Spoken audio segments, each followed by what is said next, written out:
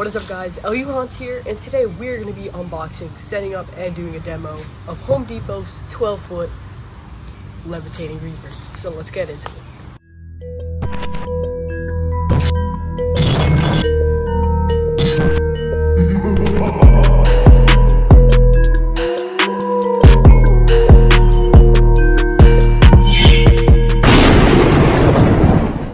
Alright, so let's open this box.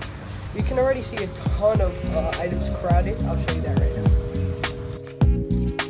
So when you open the box, this is everything you see. We have the head right there, some metal pulls, the hand, and just like any other piece. All right, so let's take these out real quick. Here we have part V, or the hand. Now this thing is really big. I'm pretty sure this is the hand holding the scythe, but that is a size comparison. Next up, we have this piece. That's probably for the scythe, which is pretty cool. Then we have another little metal piece. Then we have ourselves the scythe. So this scythe is actually a very hard plastic. It is connected to some metal over there. And then over here is a little, I don't know, segment where it can plug in the other part of the scythe.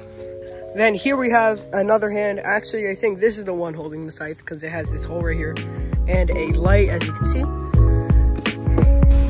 Next up out of the box, we have a part of the wood. Again, another hard plastic material. And then here we have more wood. So here is another wood piece, pretty hard plastic. Now here we have the end of the side. Again, again, plastic. But this is already pretty big, so it's gonna be a huge scythe.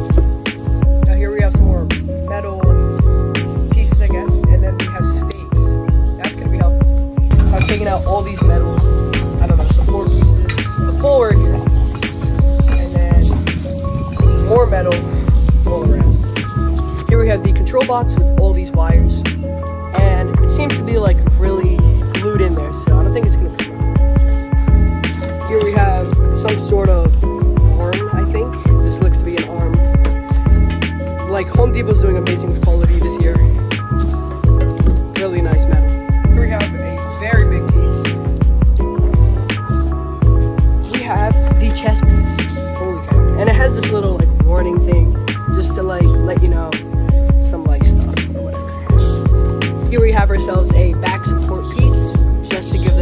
Shape.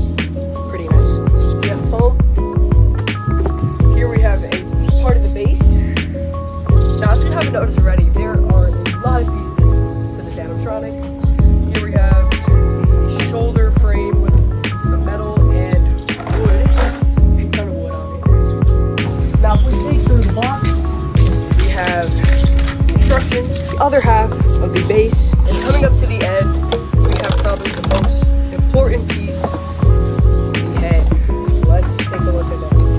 good look at this head. Awesome, awesome detail. It is all plastic. The eyes are plastic. Over here is metal. I know it has servos. And then here we have some springs just to keep it in place. And some wires. Now we can't forget about the clothing. Huge bag of clothing right there. And we have ourselves whatever this is. It looks to be like, I don't know, an adapter or something. I have no clue what this is right now. It has a ton of wires on it. But whatever it is, I'm sure we'll find out later.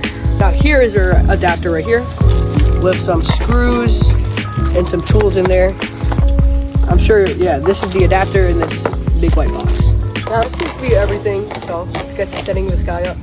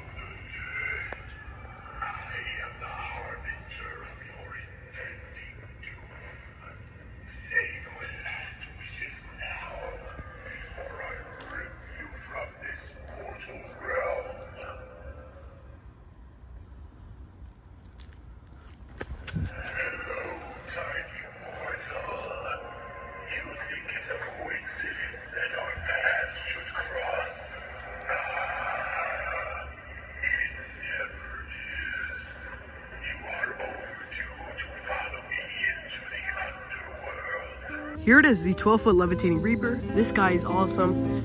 And he looks just amazing in the nighttime. Probably one of the best props I have. W prop, W prop. Um, he was actually really hard to set up, but he looks amazing in the dark. We got the two uh, little ghouls there. It's just kind of dark, so you can't see them. But my honest opinions, this guy is probably one of my favorites in the collection right now. But yeah, that is pretty much it for today's video. If you want to see more of him, definitely let me know, because I think he's awesome. Anyways, thanks for watching, and I'll see you in the next video.